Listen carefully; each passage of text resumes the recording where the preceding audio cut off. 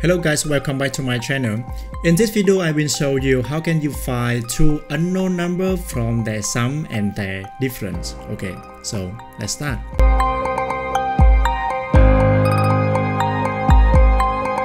If I give you the sum of two unknown number and their difference, how can you find the original numbers? This is one example.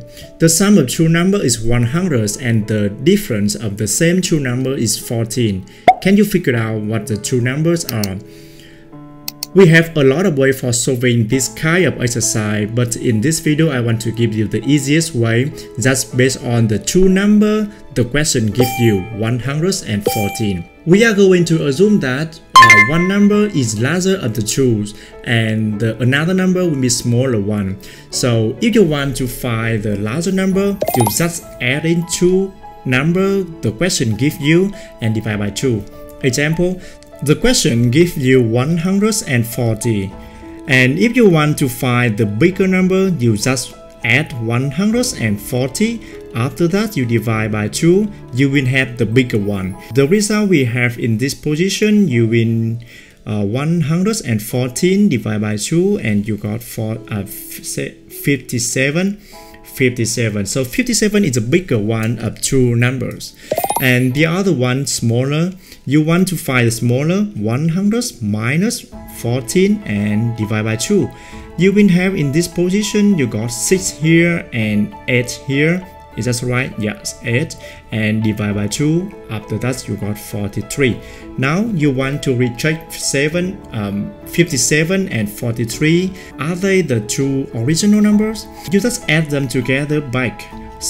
57 and 43 add them together you will have 100 and how about their different 57 minus 43 and you got 4 in this position and 1 in here. So after I check it and check it again you have the sum of two number in this one equal to 100 and the difference is 14 so this is a one way you can find the original number from their sum and their difference. Okay? Let's take the second example. Find two numbers whose sum and their difference are 62 and 48 respectively. It means 62 will be the sum of their two numbers and 48 will be the difference of two original numbers. So the question gives you two numbers like this. And if you want to find the bigger one, the bigger will be 62 add 48 and divide by 2. 62 plus 48 you will have the 110 and divide by 2 you will have for 55 and how about smaller? The smaller will be applied by the minus or subtraction. 62 minus 48 and divide by 2 you will have here um, 4 and 1 is mean divide by 2 so you got the 7 will be the final answer for the smaller number. Let's check it again.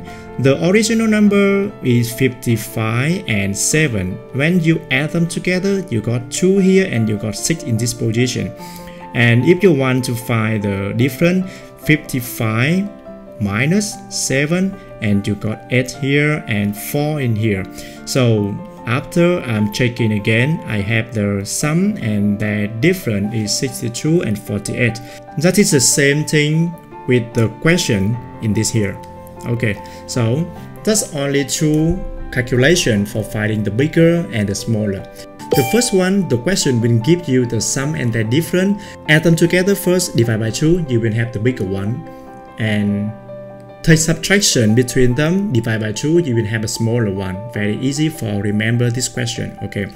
Now it's time for you.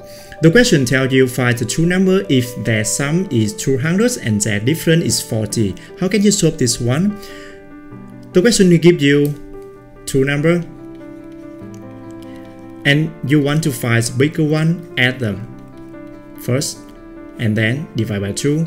You want to find smaller, very easy divided by 2.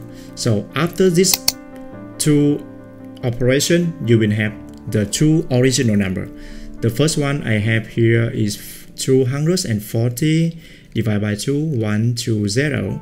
and this one is 160 divided by 2 you will have 80 you don't need to to check it again because very quickly you can see that 120 add with 80 will be equal to 200 and the difference is 40 very very easy for finding out okay I give you more example for this kind of exercise. So just stop video, do it by yourself first and then you can compare with your friend or for my test. Okay, this is question 1, 2, 3, 4 and 5. Okay, five question more for you to find the original number from their sum and their difference. Okay, with two calculation you can find this very very quickly. Practice is make perfect, so don't forget to finish find this question and compare the result to your friend, to your group, or maybe you can compare with my test. And thank you so much. And if you think this video will help you a lot in mathematics, you can like, share, and subscribe my channel. I will give you a lot video more about the mathematics. Thank you so much and see you in next video.